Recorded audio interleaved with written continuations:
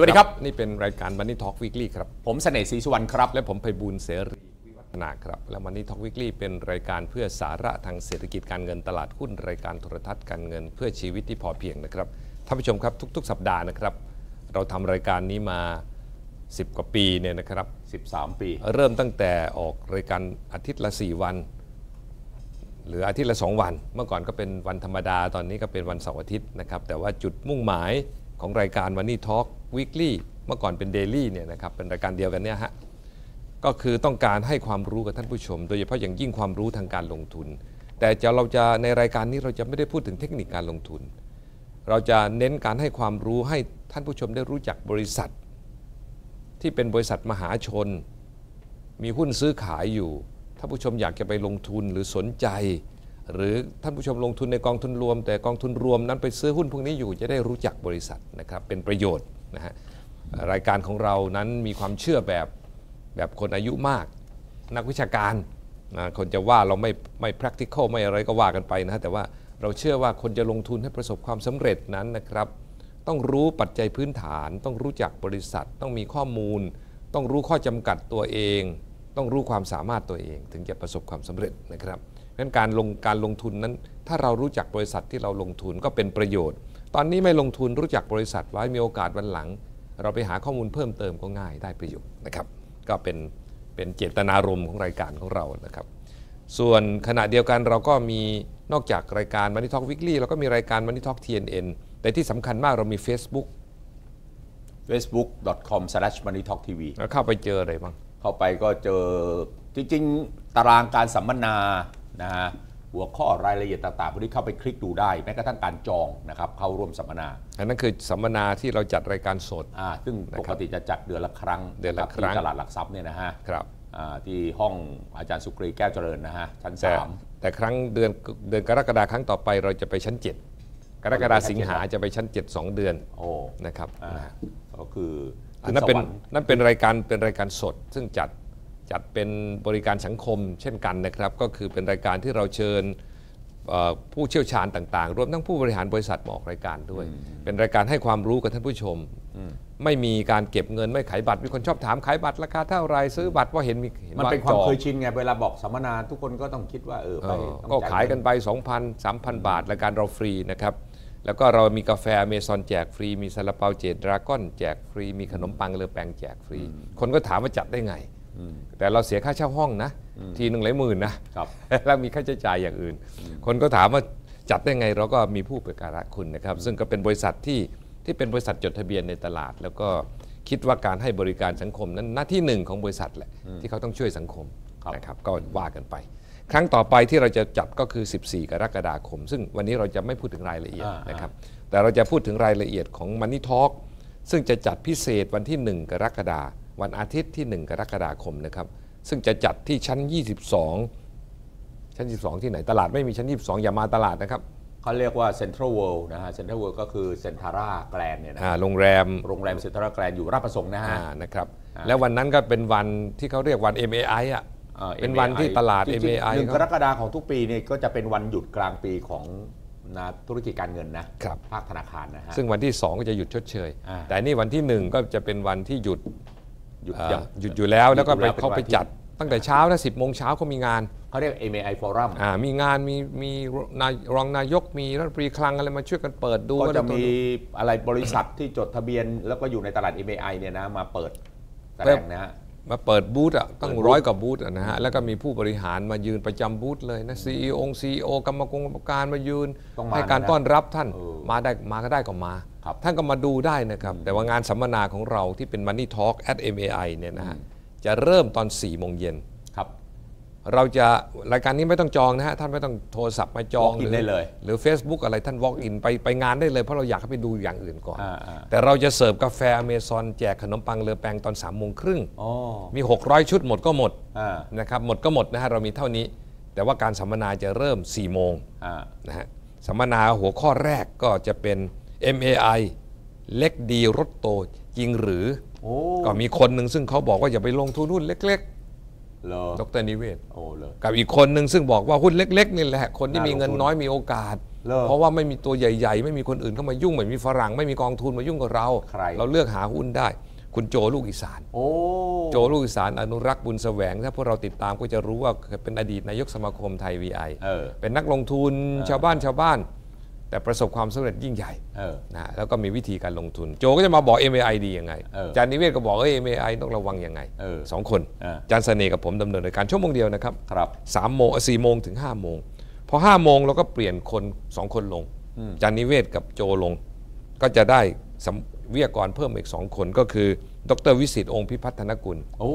ฟันโฟรกับอ่าก็จริง ๆ คือเดี๋ยวนี้ฟันโฟน้อยลงแหละดูหุ้นเลย เออดูหุ้นเลยนะ แต่ก็เป็นผู้เชี่ยวชาญฟันโฟอ่าฮะจากทีนิตี้นะครับ อ่าฮะ แล้วก็มีคุณเทิดศักดิ์ทวีธีรธรรมอันนี้เป็นนักวิเคราะห์ยอดเยี่ยมเลยนะ อ่านะฮะของเอเชียพลัสเออ นะฮะก็อาจารย์เสน่ห์กับผมก็ดำเนินรายการสองคนนี้จะมาเลืแสอกดงหุ้ว่านตอนช่วงหลังนี่บอกหุ้นได้เลยสิ อ่าช่วงหลังนี่คือเลือกหุ้นให้เลยว่าเลือกหุ้นไหนดียังไง โอ้ก็มาฟังกัน อ่า วันนั้นนะครับไม่ต้องจองนะครับเดินเข้าไปที่งาน ชั้น 22 โรงแรมเขาเรียกอะไรอ่าเซนทาร่าแกรนด์นะเซ็นฮะทรัลแกรนที่เซ็นทรัลเวิลด์นะครับเซ็นทรัลเวิลด์นะครับ แล้วก็เอ่อท่านไปเซ็นทรัลเวิลด์คือตัวอยู่ช้ด้าอนปหลังปิ้งเซ็นเตอร์นี่ให้ไปด้านหลังนะฮะ ตัวโรงแรมนะฮะ ชั้น 22 นะครับสามโมงครึ่งเราแจกกาแฟเมซอนซาลาเปาเจดาก็อะไม่มีซาลาเปาขนมเอ่อกาแฟเมซอนกับขนมปังเลอแปงขนมปังเลอแปงสามโมงครึ่งหมดก็หมดนะครับ ไม่มีการจองนะครับ แล้วก็4ี่โมงเริ่มสัมมนานะฮะเสร็จแล้ววันนี้ วันนี้วันนี้เป็นหุ้นที่แหมาเป็นหุ้นที่ออกรายการเราหลายครั้งนะครับก็ก็ท่านผู้ชมก็สนิทคุ้นเคยแหละนะฮะแต่ว่ามีประเด็นมีอะไรที่น่าสนใจน่าติดตาม มีประเด็นที่ทำให้คนบางคนเข้าใจเข้าใจได้ได้ผิดได้ง่าย มีประเด็นที่เป็นข่าวลือได้ง่าย มีประเด็นที่ที่เอาว่าเอาว่าท่านผู้ชมต้องดูเหรออ่าแล้วก็เอาเลยพบกับแขกของเราเลยดีกว่าเหรอเชิญเลยครับ แขกของเราวันนี้นะครับ ตัวแทนจากบริษัทศรีสวัสดิ์จำกัดมหาชน คุณธิดาแก้วบุตตาสวัสดีครับ สวัสดีค่ะ รู้สึกชื่อยังเป็นทางการก็เป็นศรีสวัสดิ์ Corporation จำกัดมหาชนใช่โอ้จริงๆมีค่ะ Corporation ด้วยนะ เออมี Corporation ด้วย ผมรู้แต่ว่ามันสั้นลงจากเดิมเออ เดิมศรีสวัสดิ์ Power เดิมเดิมเดิมทีเดียวคุณธิดาเดิมบริษัทชื่ออะไรยังไงนะฮะ ชื่อศรีสวัสดิ์ Power 1979 จำกัดมหาชนเออค่ะตอนนี้เป็นจำได้ ศรีสวัสดิ์ Corporation แทนอ่าเป็นอินเตอร์เป็นอินเตอร์ เมื่อก่อนศรีสวัสดิ์ Power ค่ะ ไอ้ Powerอร์ความหมายมันคืออะไรนะเพื่ออยากให้ดูแข็งแรงมั่นคงอย่างเงี้ยโอ้ค่ะเป็นบริษัทที่มี power ใช่นะค่ะ ฮะแล้ว 1979 นี่คือ ปีที่ก่อตั้งค่ะ ก็อันนี้ก็ใช้มาสักระยะหนึ่งตอนนี้เปลี่ยนเป็นสีสวัสดิ์คอร์ปอเรชั่น Corporation ใช่จุดค่ะมุ่งหมายก็คือเพื่อ เพื่อเพราะว่าเราได้มีการปรับโครงสร้างเมื่อช่วงปีที่ผ่านมาโอ้นะคะศรีสวัสดิ์ของเราก็กลายร่างไปเป็น holding company ลงทุนในบริษัทลูกต่างๆ ค่ะ แล้วจริง ๆ คุณธิดาเป็นอะไรในบริษัทนะเห็นได้ข่าวว่าเป็นเจ้าแม่ ได้อยู่ค่ะ โอ้จริงเปล่าฮะแล้วตอนจนี้ริงๆคุณธิดาก็เป็นผู้ถือหุ้นใหญ่เจ้าของเจ้าของบริษัทเออมันเพราะว่าเจ้าของนี่ยิ่งกว่าเจ้าแม่นะไม่แต่แต่ตำแหน่งเจ้าแม่ก็ควรจะปรากฏนะเพราะว่าช่วงหลังนี้ร่างทรงมาเยอะนะถูกไหม ช่วงหลังมีเทพอย่างนั้นมีเทพอย่างนี้อันนี้เจ้าแม่หมายความคำว่าเจ้าแม่ก็คือดูทุกเรื่อง ค่ะอ๋อค่ะ ก็ทำงานอยู่ในบริษัทค่ะอ่าแต่จริง ๆ แล้วก็ผมคิดว่าท่านผู้ชมเนี่ยจะติดตามสีสวัสดิ์ใกล้ชิดตอนหลังเนี่ยอ่านนะครับ เพราะว่าสีสวัสดิ์ก็เป็นบริษัทการเงินที่สมัยก่อนก็บอกว่าเป็นไม่อยู่ในไม่อยู่ในภายใต้กำกับของธนาคารแห่งประเทศไทยอืมและก็เป็นบริษัทเน้นออกไปทาง financing leasing อ่าซึ่งโตรวดเร็วมากครับนะครับจากราคาหุ้น 5-6 บาทตอนเข้าตลาดอืมก็ขึ้นไปถึงตั้ง 4-50 บาทนะฮะแล้วก็ Market Cap ก็ขึ้นมาหลายหมื่นล้านใหญ่กว่าธนาคารเล็กๆครับนะครับก็มีการปรับโครงสร้างปรับอะไรต่ออะไรที่ผ่านมา ซึ่งวันนี้ก็จะเป็นประเด็นที่เราจะคุยเยอะหน่อยเรื่องของการปรับโครงสร้างอืมทำไมต้องทำเกิดอะไรขึ้นแต่ กลับไปนิดหนึ่งเผื่อท่านผู้ชมที่อาจจะไม่ได้เป็นแฟนศรีสวัสดิ์โดยตรง อืม ก็อาจจะอยากทราบความเป็นมาสั้นๆ นิดเดียวฮะคุณธิดา ค่ะ ก็เมื่อปี 1979 นะคะ อืมเกือบเกือบ40 ปีที่แล้วเนี่ย คุณพ่อก็ก่อตั้งบริษัทนี้ขึ้นมาคุณชัดชัยนะครับ ใช่ค่ะ ระหว่างที่ก่อตั้งเนี่ย เราก็คุณพ่อสมัยนั้นก็เป็นเอเย่นขายรถมอเตอร์ไซค์นะคะ ก็เป็นเหมือนรับขายผ่อนให้ลูกค้าทั่วไปค่ะ ต่อมาวันวันหนึ่งลูกค้าเขาก็บอกว่า ถ้าเขาใช้มอเตอร์ไซค์ที่ซื้อกับคุณพ่อเนี่ยเป็นหลักประกันแล้วขอยืมเงินได้ไหมอืม40 กว่าปีก่อนมันการเข้าธนาคารพาณิชย์มันดูเป็นเรื่องไม่ใช่ยากเรื่องปกติของคนต่างจังหวัด ต่างจังหวัดต้องขึ้นบันไดไปสูใช่งๆออฟฟิศค่ะไม่มีคนอยากแอเข้าร์อะเย็นไปหาผู้จัดการยังกับไปหาผู้ว่า ใช่ค่ะ หลังจากนั้นก็ก็เลยอันเนี้ยเราก็เลยค่อย ๆ ขยายกิจการเรื่อยมา ก็รับมอเตอร์ไซค์เป็นหลักประกันรับรถกระบะเป็นหลักประกันนะคะอืมขยายมา 10 ล้อค่ะอืมแล้วก็ล่าสุดก็ รับที่ดินเป็นหลักประกันบ้านและอืมที่ดินค่ะอืมในในส่วนนี้ก็ค่อยๆ ขยายมาแล้วก็เมื่อประมาณ 4-5 ปีที่แล้วเนี่ยเราก็นำบริษัทเข้าไปจดทะเบียนในตลาดหลักทรัพย์ค่ะอืมนะครับที่มาตอนนั้นก็รับศรีสวัสดิ์พาวเวอร์นี่มีบ้านมีรถเงินสดทันใจผมจำได้ ใช่ค่ะอ่ามีบ้านมีรถเงินสดทันใจ แต่ตอนนี้เราเปลี่ยนโครงสร้างไปเป็นยังไงฮะนี่คุณธิดาทำมาค่ะเล่าพวกเราใหญ่ฟังมากนิดหน่อยเลยนะอ่าแผ่นใหญ่นะอะค่ะท่านผู้ใหญ่จะไม่เห็นนะนี่อธิแผ่นบายใหญ่อะไรแล้วนะฮะแผ่นใหญ่ เอาคืกล้องมา ปัจจุบันเนี้โครงสร้างของบริษัทก็ก็เปลี่ยนไปจากจากวันแรกที่เราเข้าตลาดหลักทรัพย์นะคะอืมก็เนื่องจากปีที่แล้วเนี่ยกลุ่มบริษัทของเราเนี่ยได้ลงทุนจำนวนหนึ่งในบริษัทเอ่อเดิมชื่อกรุงเทพธนาธรหรือที่ทุกคนรู้จักกันว่า b f i t เนี่ยค่ะอืมตอนที่จะลงทุนเนี่ยเพื่อให้เหมาะสมกับกฎระเบียบเนี่ยเราก็เลยเอ่อปรับโครงสร้างใหม่หมดเลย จากบริษัทที่เป็น operating company เนี่ยกลายร่างไปเป็น holding company นะคะผมผมพูดถึงบีฟิตนิดนึงใช่บีฟิตก็เป็นหนึ่งใน สถาบันการเงิน รายสองรายที่เป็น finance company ที่เหลืออยู่ในปัจจุบัน ใช่ค่ะนะครับด้วยตัวของ b f i t เนี่ยค่ะเขาเองเขาถือไลเส้นเงินทุน BFIT นะคะ อยู่ภายใต้ค่ะบีฟิต b f i t อยู่ด้านด้านอยู่ซ้ายขวามือเนี่ยนี่นี่อ่าอ่าค่ะ BFIT ค่ะ ตัว b f i t เองเนี่ยเขาถือไลเซนส์เงินทุนค่ะ เงินทุนเนี่ยก็เป็นถือเป็นสถาบันการเงินตามกฎหมายของพรบสถาบันการเงินปี 2551 นะคะ อยู่ภายใต้การควบคุมดูแลของธนาคารแห่งประเทศไทยตามกฎหมายอืมตัว b f i t เองเนี่ยเขาก็จะสามารถปล่อยสินเชื่อได้นะคะ แล้วฝากเงินได้ค่ะ อีกอันนึงที่เป็นลูกของเราเนี่ยก็คือศรีสวัสดิ์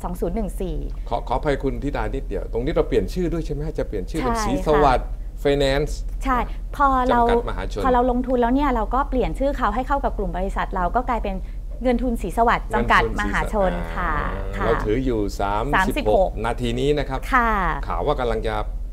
ซื้อเพิ่มใช่ไหมฮะเอ่ออันนั้นทางบริษัทกำลังศึกษาอยู่ ที่จะทำเทนเดอร์เพิ่มซื้อเพิ่มอยากได้เพิ่มแหละเอาง่ายๆอย่างนั้นเอิ่มอันนี้บริษัทขอเวลาศึกษาก่อนอ่านิดยังไม่นึบอกว่าเจ้าวิธีพูดแบบเจ้าแม่อืมไม่บอกก่อนบอกไม่ได้ ผิดระเบียบผิดระเบียบเดี๋ยวเดี๋ยวเดี๋ยวพูดมาขนาดนี้มันก็ไปเยอะแล้วล่ะมันหนังสือพิมพ์ก็พาดหัวไปเลยอะอ๋อเราพูดได้อะเอาแล้วเดี๋ยวนะเดี๋ยวค่ะเดี๋ยวตรงไอ้ไอ้เดิมทีเดียวใครเป็นผู้ถือหุ้นหลักอยู่ฮะของ BFIT นะฮะคนอะคนไม่ใช่มีหลายคน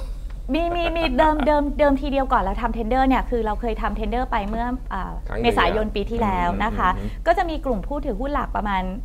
สี่ห้าคนค่ะเอาบุคคลใช่ไหมฮะใช่เป็นบุคคลค่ะ เป็นบุคคลในกลุ่มนั้นเนี่ยเอ่อ จำนวนหนึ่งก็ประมาณ 30 กว่าเปอร์เซ็นต์เนี่ยได้ขายหุ้นขายให้เราใช่ค่ะขายได้เล็กให้เราเลยถูกไหมใช่ค่ะอืมแล้วการขายครั้งนั้นเนี่ยส่งผลให้บริษัทต้องทำตามกฎของ ก.ล.ต. ก็คือเราต้อง tenderอ่าต้อง tender อ่าแล้วก็จัดการทำให้เป็นไปตามกระบวนการนั้นนะคะแล้วก็ทำ tender offer มา ซึ่งในตอนที่ทำ tender offer ครั้งแรกเนี่ยก็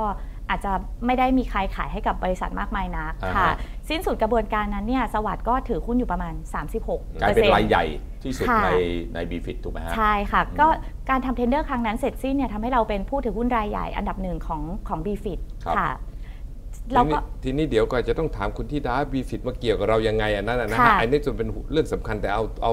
บริษัทอื่นก่อนก็ได้ค่ะนะครับนอกจากนั้นนอกจาก b f i t ที่เราเพิ่งลงทุนล่าสุดเนี่ยบริษัทก็ระหว่างปรับโครงสร้างเนี่ยบริษัทก็จัดตั้งบริษัทลูกขึ้นมาบริษัทหนึ่งนะคะ ชื่อศรีสวัสดิ์ Power 2014 อันนี้นะครับค่ะ2014 มาแล้วตอนนี้ค่ะศรีสวัสดิ์ Power 2014อ่าค่ะศรีสวัสดิ์ Power 2014เนี่ยเป็นบริษัทที่จดทะเบียนภายใต้กระทรวงพาณิชย์นะคะครับกฎหมายที่ใช้บังคับเนี่ยก็จะเป็นกฎหมายแพ่งและพาณิชย์ครับอันในนี้ตุค่ะ ทำอะไรนะครับไอ้นี่ก็จะเป็นบริษัทที่ทำเช่าซื้อนะคะ ธุรกรรมเช่าซื้อแล้วก็อืมเป็นธุรกรรมพวกเอ่อมอเตอร์ไซค์มอเตอร์ไซค์แลกเงินค่ะอืมทำไฮเปอร์เชสใช่ค่ะอืมเมื่อเมื่อลูกค้าต้องการเอ่อใช้เงินสดเงินด่วนเนี่ยภายใต้สัญญาเช่าซื้อเนี่ยจะจะเป็นลูกค้าของบริษัทลูกก็คือศรีสวัสดิ์2014 ค่ะ อันนี้เราถือ 100%ร้อยเปอร์เซ็นต์ค่ะ ตัวที่ 3 นี่ตัวที่ 3เนี่ยเป็น international holding อ่าเอาไว้ลงทุนในธุรกิจใด ๆ ก็แล้วแต่ที่อทั่วยู่โลกเลยฮะ อาจจะรอบๆข้างประเทศไทยค่ะอืมอืม ตามนโยบายของบริษัทก็คือเราจะขยายกิจการไปประเทศแถวๆเนี้ยค่ะลาในวเมียนมาลาวเมียนมาเขมรพวกนี้ใช่ค่ะ อันนี้เราถือหุ้นอยู่ 90%ใช่ค่ะอีก 10%ใครถือนะครับอีก 10%ก็จะเป็น partner เราค่ะ อืม partner ในในในในแต่ละประเทศนั้นๆใช่ค่ะอ๋อครับครับ ใช่ค่ะอือฮึแล้วอีกตัวหนึ่งก็คือจะเป็น SWP Asset Management ตัวนี้เนี่ยเขาจะถือ license บริหารสินทรัพย์นะคะกฎระเบียบที่ใช้บังคับก็คือพ.ร.บ. การบริหารสินทรัพย์ค่ะ ในตัวนี้เนี่ยคนบางคนอาจจะเข้าใจผิดคิดว่าเราซื้อขายหุ้นจริง ๆ ไม่เลยค่ะ ในตัวนี้จะเป็นการซื้อเอ่อ NPA กับ NPL จากสถาบันการเงินต่างๆซื้อหนี้มาอ๋อใช่ก็เหมือนกับบริษัทบริหารสินทรัพย์ที่ใช่อยู่ในตลาดขนาดนี้นะฮะ ใช่ค่ะอ๋อ ใช่ค่ะ ในจุในตัวนี้ก็จะเป็น license ที่บริษัทถืออยู่ค่ะ แล้วตัวสุดท้ายเนี่ยก็จะเป็นเงินสดทันใจ อืม ในตัวเงินสดทันใจเนี่ยค่ะก็ ก็จะได้รับไลเซนส์ Nano Finance กับตัวไลเซนส์สินเชื่อส่วนบุคคล จากธนาคารอืมแห่งประเทศไทยค่ะ ตัวเนี้ยจะตัวเป็นตัวนี้ไม่มีหลักประกันไม่มีหลักประกันค่ะ อ่าเพราะฉะนั้นศรีสวัสดิ์แม่ที่จดทะเบียนอยู่ในตลาดหลักทรัพย์เนี่ยนะครับ ค่ะ ตัวสวัสดิ์ในตลาดหลักทรัพย์ก็ถือว่าเป็น holding company ที่ มีธุรกรรมแบบนี้ ใช่ตัวแม่ค่ะเองทำอะไรด้วยไหมฮะ ตัวแม่เองเนี่ยเป็น holding company ตอนนี้เป็น holding company ลงทุนอย่างเดียวเลยค่ะ ถือทำธุรกรรมผ่าน 5 บริษัทนี้ ใช่ค่ะนะครับ ทำธุรกรรมทั้งหมดที่เกิดขึ้นในศรีสวัสดิ์กรุ๊ปเนี่ยค่ะ จะถูกทำผ่านบริษัทลูกของเราแล้วแต่ความเหมาะสมของอ่านิติกรรมเดี๋ยวทวนอีกที BFIT เดี๋ยวต้องคุยกันค่ะ นะในรายละเอียดแต่ว่าศรีสวัสดิ์ Power 2014 นี่ก็คือทำไฮเ u อร์เชส ทำเช่าซื้อ เช่าซื้อค่ะทำเช่าซื้อตามค่ะ กฎหมายเช่าซื้อใช่ค่ะนรับสังกัดกระทรวงพาณิชย์ สังกัดกระทรวงพาณิชย์สีค่ะสวัสด์อินเตอร์เนชั่นแนลโฮลดิ้งนี่คือไปทำต่างประเทศ ใช่ค่ะ ร่วมกับประผู้ Partner เจ้าของในแต่ละประในแต่ใช่ละประเทที่ศเรานะครับ ผ่านกรมธุรกิจการค้าเหมือนกันมั้งใช่ไหมใช่ค่ะ โอเค อันนี้ดี๋ยวอันนี้ไม่เรื่องไม่ได้ asset ผ่าน management ธุรกิจกรมธุรกิจการค้าไม่เกี่ยว อะ ไม่เกี่ยวกับกรไม่มธุรกิจการอ่าค้าอาจไม่จะเกี่ยวก็แล้วแต่จังหวะและโอกาสที่เหก็มาะสม คือไปร่วมทุนไปโอเค ไปทำที่จังหวัดและประเทศนั้นๆนะครับ อันนี้อันนี้บริหารสินทรัพย์ก็คือใช่บริหารค่ะหนี่ซื้อหนี่มาบริหารมาซื้อหนี้มาบริหารหลักๆคือซื้อหนี่มาบริหาร เพื่อให้ต่อต่อเนื่องนิดนึงบังเอิญศรีสวัสดิ์เนี่ยมีข่าวว่าเราปล่อย SME ด้วย ใช่ค่ะ มันอยู่ตรงไหนฮะเวลาปล่อย SME ถ้าปล่อย SME เนี่ยตัว ticket size ของกลุ่มบริษัทเนี่ยถ้าลูกค้าต้องการใช้เงินมากกว่า 10 ล้านเนี่ยครับจะอยู่ภายใต้บริษัทลูกของเราก็คือสวัสด์2014เราอยู่ค่ะภายใต้นี้นะครับค่ะเพราะฉะนั้นที่ที่เป็นข่าวอยู่ว่าเรามีลูกหนี้รายหนึ่งใหญ่ค่ะมาก SME เนี่ยนะครับค่ะ แล้วทำให้เกิด NPL ในงวดที่ในงวดไตรมาสหนึ่งที่สูงผิดปกติ ค่ะ อยู่ในภายใต้บริษัทนี้ ใช่ค่ะ ซึ่งเดี๋ยวรายนี้คือตอนนี้เคลียร์ไปหมดแล้วเคลียร์ไปหมดนะคแล้รับวเพราะฉะนั้นค่ะ NPL ก็จะลดลงมาแล้วเหมือนเดิมก็จะกลับเป็นเลเวลปกติอะเดี๋ยวไปกลับมานะค่ะครับอะทีนี้เอาละวางแล้ว BFIT แล้วคุยจากนี้จนพักจะคุย BFIT อย่างเดียวอ่านะจนก็ประมาณสักสิบกว่านาที โอเคครับอ่า BFIT นี่ยังไงฮะ มันทำไมอยู่ๆ เราทำก็เราก็ดีๆ อยู่แล้ว ไม่ได้ไปยุ่งอะไรกับ BFIT ปล่อยเขาไปทำเงินทุนของเขาดีๆ ภายใต้แบงก์ชาติ เราเข้าไปเกี่ยวยังไงฮะเพราะอะไรคิดอะไร คือเพื่อคือเรากะว่าสิ่งเดียวที่กลุ่มบริษัทนี้ทำเป็นก็คือการปล่อยสินเชื่อใช่ไหมคะ ทีนี้การปล่อยสินเชื่อเนี่ยบริษัทก็คิดว่าถ้าเราคาดว่าเราจะโตต่อไปในอนาคตอย่างมั่นคงเนี่ยการมีผู้ดูแลที่ที่เข้มงวด ก็จะทำให้ทุกๆ คนมั่นใจแล้วก็เชื่อมั่น ในส่วนของ b f i t เองเนี่ยค่ะ ก่อนที่เราจะเข้าไปลงทุนเนี่ยเขาก็เป็นบริษัทที่ที่ดีอยู่แล้วนะคะ มีเอ่อ capital ratio มีทุกอย่างมั่นคงแข็งแรงครับนอกจากนี้ก็คือมีกฎระเบียบที่ที่อนุญาตให้บริษัทเนี่ยกลุ่ม b f i t ของ b f i t เนี่ย ปล่อยสินเชื่อแบบมีหลักประกันอืมภายใต้การคุ้มครองดูแลของธนาคารแห่งประเทศไทยตามพรบ ในตัวเนี้ยสิ่งที่เกิดขึ้นก็คือมันจะเป็นเอ่อกฎหมายที่ใช้บังคับคนละแบบกับของสวัสด์ที่เคยใช้อยู่อืมนะคะ แต่เดิมเนี่ยการปล่อยขออนุญาตท้าความกลับไปนิดนึงครับในการปล่อยสินเชื่อในประเทศไทยเนี่ยค่ะมีคนจริง ๆ ไม่ต้องการไลเซนส์พิเศษเลย ถ้าอย่างอาจารย์ไพบูลย์เนี่ยอยากปล่อยสินเชื่อเนี่ยก็จริง ๆ สามารถทำได้นะเอาไหมคะจันเนี่ยไม่ปล่อยสิไม่นเชื่อค่ะให้จะมาเชื่อผมเรื่องเรื่องอะไร ก็หมายถึงไงให้กู้ไว้ไง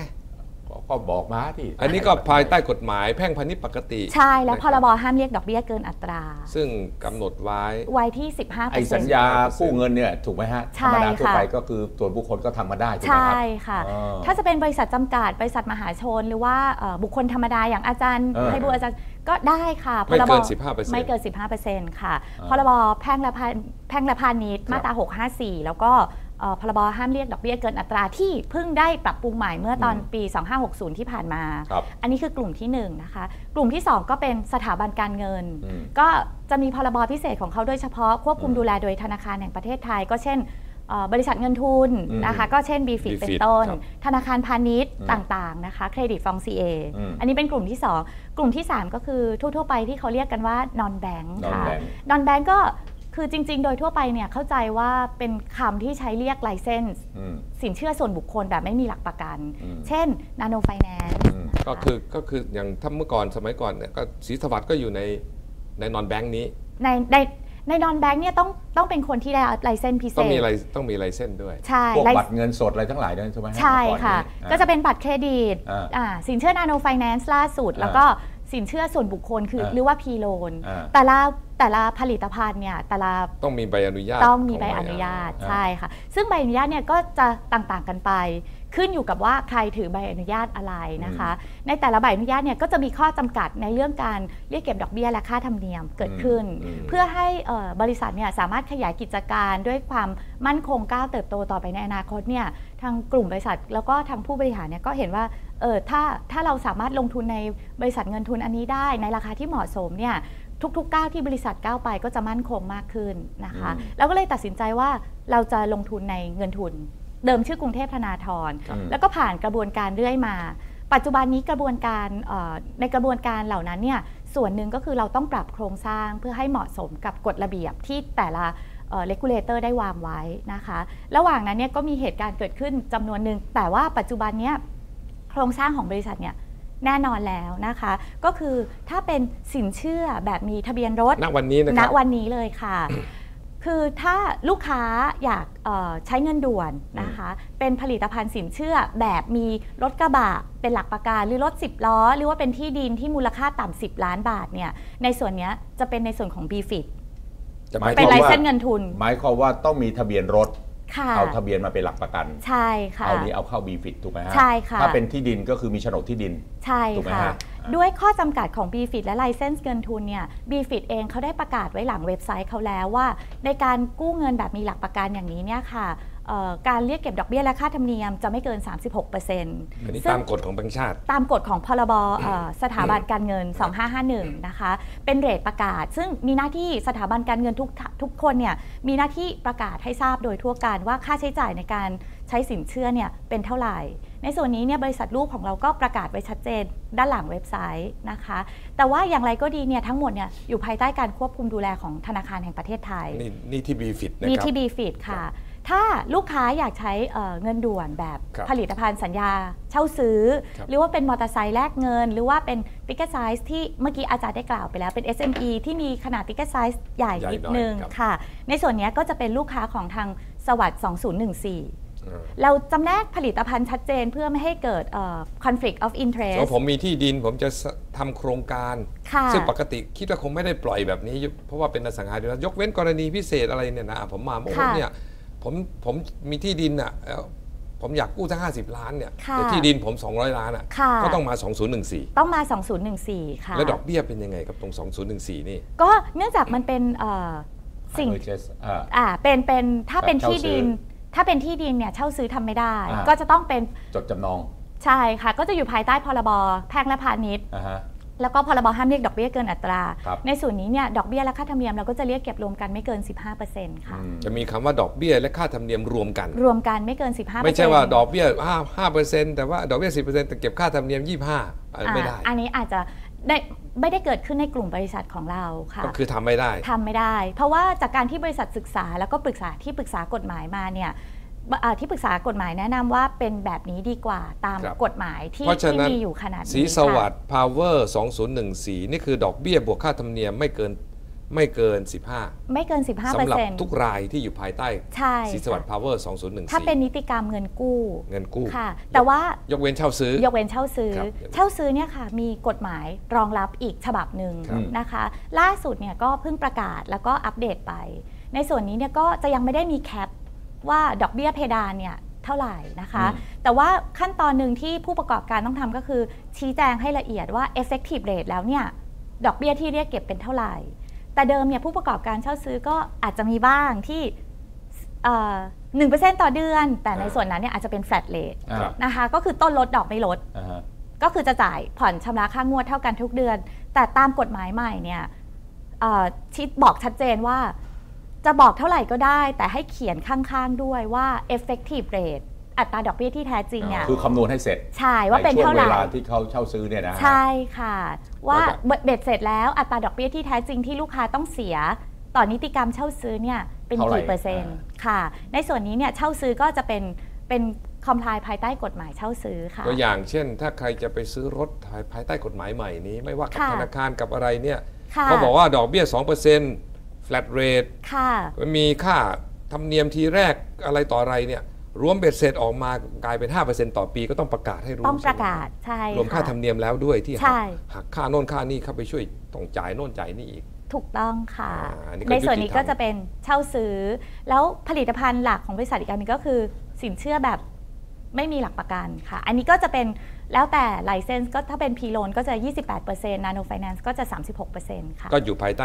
2014 อยู่ภายใต้เงินสดทันจ่ายถ้าเป็นไม่มีหลักประกันอ๋อไม่มีหลักประกันอะเดี๋ยวเราพักก่อนนะท่านผู้ชมฮะเพราะว่าเดี๋ยวต้องมีสองสามดีเทลประเด็นที่จะต้องเยอะเหมือนกันนะรายละเอียดที่จะต้องมามาเคลียร์กันให้ชัดว่า แล้วทำไมเราทำนำใหม่อยู่ดีๆ มันก็ดีอยู่แล้ว ก่อนหน้านี้มันมันก็มาดีๆอะแล้วจะไปทำให้มันยุ่งยากไปหาบีฟิตเข้ามาเกี่ยวข้องไปตั้งโครงสร้างใหม่ อยู่แบบเดิมไม่ดีกว่าเลยหลังพักครับท่านผู้ชม